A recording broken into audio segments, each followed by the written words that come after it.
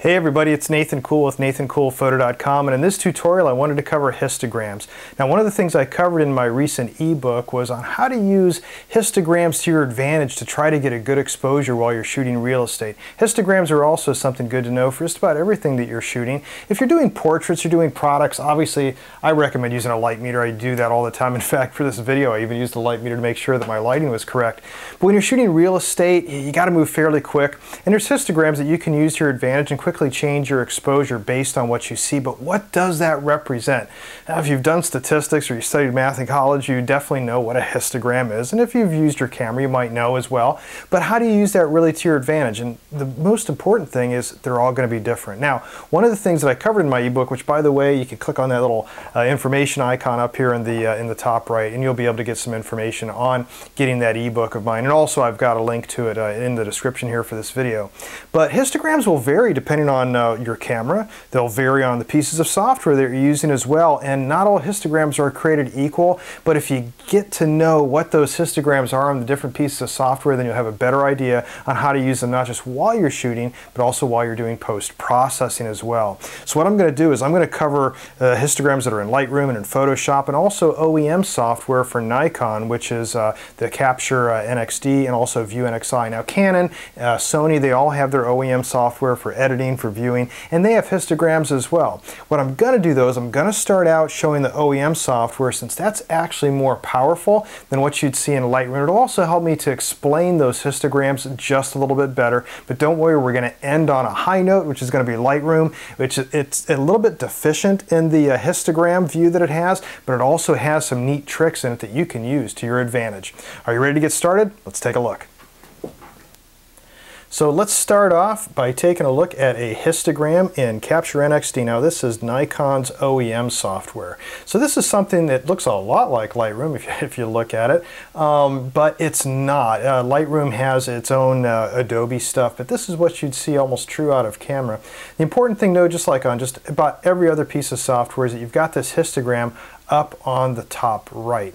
Now that's a little window. What does it actually mean? Well, the important part is how it actually displays across here and to see that better we really got to blow it up and this is what I love about Capture NXD one of the many things is that I can go over here and I can dock that entire histogram now I can actually see a full view of it now it becomes a lot easier to explain so if we go from left to right. What this is, this is exposure. On the left would be almost no exposure, and on the right would be overexposure.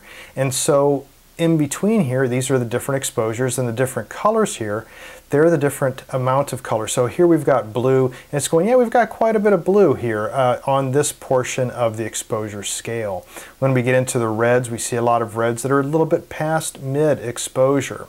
Where it gets confusing across the different pieces of software is when we see this white area in here. That varies. In Capture NXD and a lot of other programs, that means brightness. So I can also in Capture NXD just show what's the brightness amount. And to me, that's most important for doing real estate photography because one of the things you might recall from my ebook is I'm trying to get center to right of center. And here we can see this is center and I'm in center right to center. So this is actually a fairly well exposed shot. Now this is a shot just for ambient. If you take a look here, this is just the ambient shot. So let me go ahead and dock this back in there and boom, we've got that.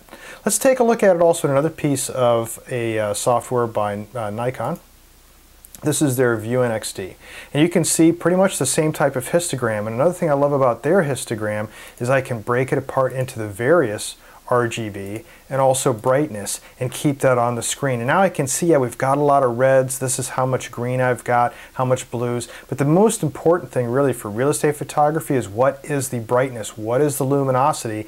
And that's this lower run right here. If I go to the finished product out of this, by the way, we can see that we've got a pretty good, it's actually starting to push a little high into the high exposure range here. If you look at the exposure part of it, the histogram, and that's really kind of pushing a little bit. I'd probably bring it down now that I have some second thoughts about it, but we're still about center to right of center, and the color range is pretty good across. That's just out of luck pretty much out of this particular um, shot, because they all do vary. In fact, if we went to just uh, the flash exposure of it, we can see, yeah, there's a lot of flash here. We got dark in the background, and that's why it varies a little bit here. But the take-home point is that we want to try to judge that histogram to show the exposure from center to right of center, just like I talked about in my ebook.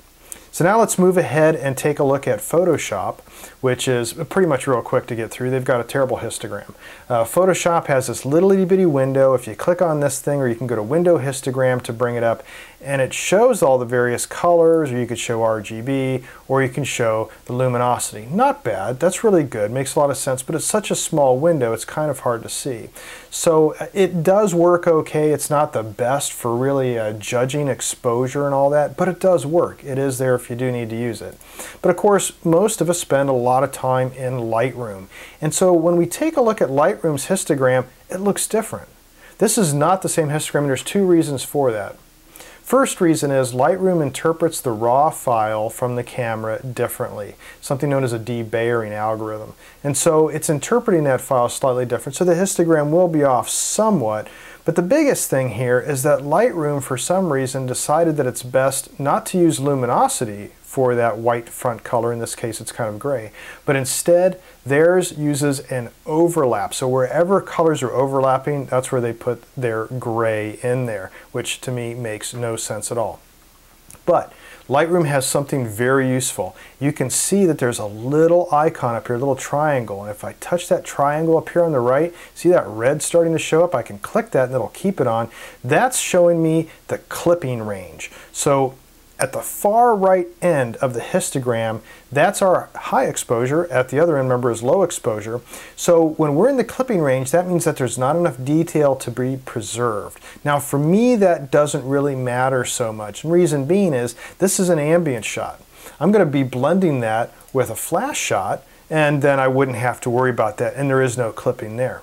But notice here, another clipping showed up here on the other side. That's our blacks, right? And those blacks are just hidden down in the furniture and down in some of the shadows, and it's not really that bad. Once again, our finished shot out of this was this exposure.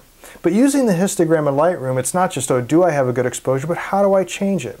So let's take a look at some shots here. Now, if I take this shot back to where it was, where I imported it, I overexposed this when I shot it. It obviously looks overexposed, but the true tell of it is when you take a look at the histogram. Now, if you're on site and you're moving very quick, whether you're using a Cam Ranger or just the back of your camera, you can see a histogram. That's going to tell you much better than glare going all over your tablet or over the back of your screen. It's always hard to tell. In this case, I was rushing and I thought that I was just right of center, but I wasn't. I was way up to the high. Now, that doesn't matter so much for me because what I can do, this is a raw file, I can go down to exposure and go just lower that exposure by, you know, what I did was 0.7.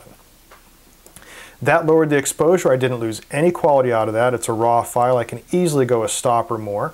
And since it was overexposed, I didn't have to worry about shadows that might be corrupted um, with noise and all that, which tends to happen. So anytime it's a little over bright, you can always lower it down and not worry about as much noise. But here's another trick you can do also. By the way, this hotspot up here was fixed with a composite shot later that was uh, me holding a, a, a, just a little speed light over here to fill that in on my final composite. But there's another trick you can do, and that's where you can grab pieces of the histogram in Lightroom. So let's say that I wanted to uh, change the highlights. I go all the way over to the right, and I can change the highlights by moving that. Now if you watch what's happening, it's actually moving the white slider. Um, if I move into another section, there we go, there it's moving the highlight slider. Okay, see that highlight slider moving back and forth? I'm dragging on the histogram. If I grab in the center here, it's grabbing the exposure and changing the exposure that I need to. That's kind of a neat party trick. I mean, I don't find that really useful. You might though, because I can change the highlights slider and I can watch the histogram move itself. So it's dynamic enough for me. And most of the time though, I want to have enough control where I'm going to put in the exact amount that I want to use. But once again, it's the same as any other histogram. On the right, we've got our high exposure. On the left, we've got our low exposure. And for real estate photography, what we're after is something that's kind of right about center to right of center, so we have a fairly well exposed shot. So anyways, in my ebook, when I keep talking about to be center, to be right of center, that's what I'm talking about on that histogram, and I show that in the ebook as well. But I'm going to go further upon that subject on the advanced book that I'm still working on right now, and I hope to have it out, hopefully by the holidays, and I'll be elaborating more on everything that I just showed you. But for right now, you can go ahead and play around with it a little bit, shoot some stuff, see how it works on the various pieces of software you have and how it compares on your camera. On the back of your camera, if you're not used to viewing histograms, when you take a picture on Nikons, usually while you're viewing a picture, you can hit that little up on the thumb wheel and it'll show the histogram view and hitting the down uh, thumb wheel will make that go away. I believe on Canons, it's hitting the info button. On every camera though, you just look at your manual, see what the instructions are for viewing your histogram, and then as you're shooting, you can start seeing how that histogram is working, and if you go a little too high, that's okay. You're shooting in RAW, you should be shooting in RAW, and if, as long as you're shooting in RAW, you can drop that a little bit, and you can watch that histogram exposure also go down with it.